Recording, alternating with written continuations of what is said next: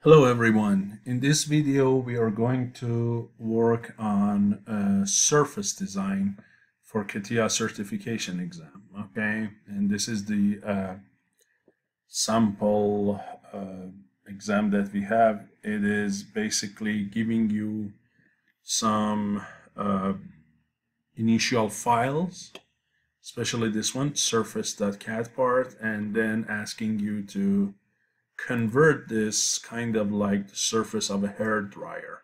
So you have to go through several problems, problems one to five, as you can see, and do some surface design. So the first thing is, says open this file. And here I have opened this file from, again, the uh, exported zip folder that is provided by the uh, exam software. And then it says uh, what you need to do is you first need to create this part, this surface, okay, which is a revolute surface. So you have to revolve this guy, okay, do a revolute surface and uh, then measure the surface area of it in millimeter square. So this part of it, which is basically a multi-section, right? You don't mess up with this right now. You just use the top curve and try to revolve it to create this top portion of the uh, hair dryer. So if we go, that's this curve here, this guy. Okay, and if you go under inputs, here you have some geometric sets and uh, here is your input. There are different sketches. And then here also under references you have some planes some intersections and so on. There is also a line that is hidden here. So it's this sketch this one this one this one and this one. Now here there is a hidden sketch. If you want you can see it. That's later for creating the holes on the back so let's hide it. There is also this line that you have to use for the um, rotation axis okay? So you need this line number one in this case. So we need to go to shape and generative shape design to create surfaces.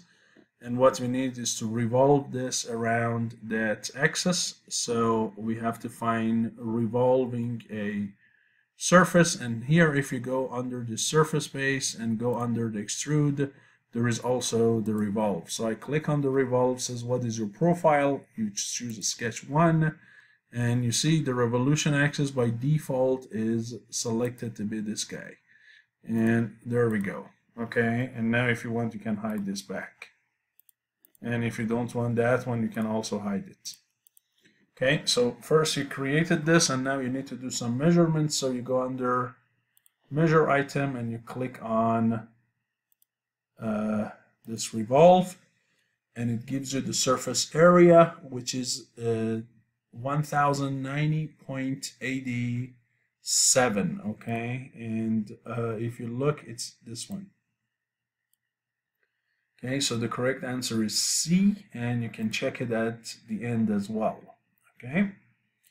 Then here you have a multi-section surface which passes through these three circles and this is uh, basically the guide curve right? So it says create a multi-section using sketches number 3 4 and 5 use points 3 4 and 5 respectively as the closing points and use sketch number 2 as the spine. And then you will get this surface and now when you get it now you need to get rid of this extra portion of this handle and create a hole on the head. Okay, so you need to trim both of the surfaces, get rid of this extra part that is extending inside the head, create the hole, and then you need to uh, join them together and apply a, a fillet radius of 2 mils and then measure the surface area of the whole thing okay so first thing first is we have to do a multi-section right? And as you know, this is the fill, this is the multi-section, correct? And this is the blend. So most of the tools you want are here. So we go to multi-section. And for uh, the guide, I choose this one, this one, and this one. Make sure the closing points are the points that are given to you. If you look at the moment, you have to make sure that they are the closing points. And as you can see, if I zoom into one of them, you see this point in black is different than the closing point. So you have to edit that. Otherwise, you're going to get a twist. So you can right click here on this and say I want to replace it with this black point. There we go, as simple as that. Then go on the next curve. Do a similar thing, right click, replace, get that point, and then go to the next one.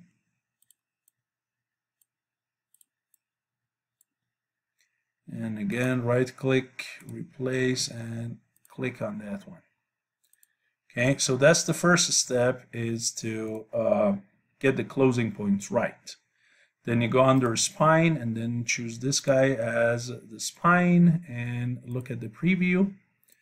And there we go. You got the handle and you see clearly if you look here, it should extend inside the head now, whatever sketch that you don't want anymore, you can just hide them, correct? So make sure you hide whatever that is on the way of you visualizing it.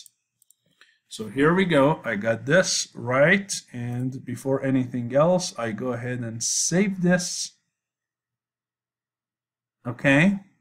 And now I need to do some trimming. So as you can see here again, I should get rid of this portion and this hole. And if you want to see better, you might be willing to change the color of one of these. So go to properties, graphics, and then change the color to maybe something else that you can see better, okay? That they are not the same surface. So now we need to do the trimming. And if you go under here, this operation, there is the split and there is the trim, right? So if you click on the trimming, it says you need to trim what? So you choose this one and you choose this one. And you see, it gives you exactly what you want, right? It get rid of the parts you didn't want and made the hole. If anything is different from what you want, you can click on this other side next element, other side previous element, and you can keep different things like this, you see? So change it to exactly reflect what you want and then okay that. So now they are one piece. Uh, they are not still one piece, but they are trimmed properly. And now what I want to do is to join them together. So I click on join and say, uh, well, uh, you don't need to join it, of course, because it's just one element. Consider the whole thing to be one trim, so you don't need to join it anymore you just need to go and try to apply a, a fillet radius which is here. And uh, it is this area. Let's see. Okay no that's not what we want. Let's see if we can do the edge fillet. Choose this edge and use 2 mil. And there we go so now it's all one single thing and I can measure its area. It's 1329.1. So that's the number and that's what you can see here. Okay, so you got it right. Then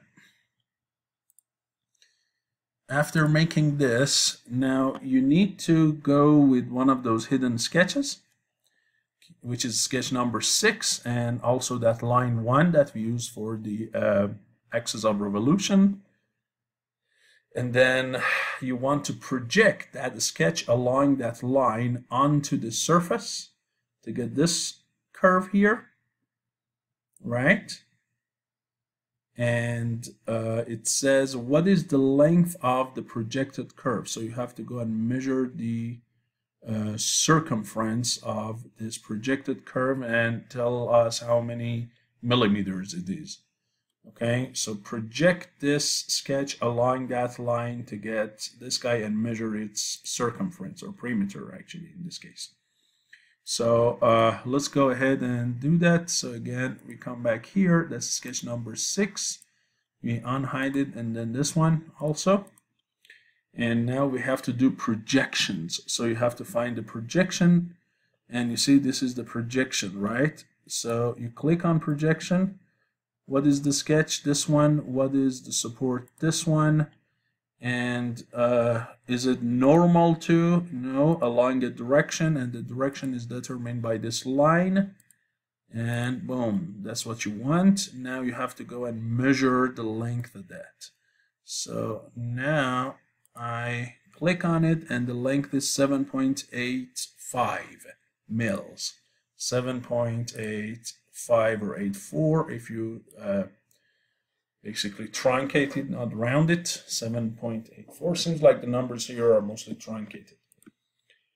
Okay, so that's the third part. Now that you got that, it wants you to cut it out and then do a circular pattern, 10 equally space of them, and then measure the surface area again of the new thing. So as the problem says, uh, when I project it, first I pattern this projection, I don't cut. So I uh, got rid of this uh, split I did. I got rid of that hole. First I do the projection, then I repeat the projection, do a circular pattern. Then with all of that pattern, I do the uh, split. So first thing is I choose this guy and I go to the circular pattern and I choose 10 of them with angle 36 degrees equally spaced right? And my reference element is this guy. So here we go. I got the 10 of them. Now I try to use this 10 to split that surface and create the holes. So now I choose this and, um, or actually I choose this and then go to split. And for splitting elements, I choose the circular pattern and that original one and I okay that. And there we go. I got all the things that I wanted and this is what you have now says measure the surface area again. So here we go. Click on this. And the surface area is 1308 right? Which is this one. So I got that covered. The last part is uh, as you can see it says what is the maximum radius of curvature in this sketch number one right? So in that original one you revolved you want to measure the radius of curvature and see where along this curve you have maximum radius of curvature which is basically the area that is closer to a flat line and measure that and give it and the answer should be 8268 so now uh, again you need to measure the radius of curvature uh, maximum on this curve and it should be in this area which is closer to a flat line and to measure that um, we cannot use this measure tool it's not going to be accurate because if you do and click on this portion if you click on this portion, it is with radius of 7. It is actually a curve, but this other portion of it is not really a curve, and so the number it gives you could be misleading. So here, if you click on that, it gives you 80.9, which is close to this, but not exactly. And the reason is this portion of this curve is not really a line. If you double click on it, you can see that this portion is an actual curve, a three-point arc. This portion is an SP line, and a SP line does not have a single radius of curvature, so that number is not accurate. So for that, you need the radius of curvature tool, which is under analysis toolbar. and analysis toolbar is typically down here. If you don't see it you right click and get it. And there are some tools in it. Now this one is good but it gives you surface. If you want it on a line you click on uh, this one which says uh, porcupine curvature analysis. And then you click on the area that you want and then it shows it to you at different points along the line when you move your cursor. You see as you go toward the ends, on this end 82.19 is max, on this end you go all the way to the max, you see it's 82.68 which is this number. Okay, so use that tool and this way you can answer this sample exam on surface design. Okay, thank you so much. I will see you in the next lecture.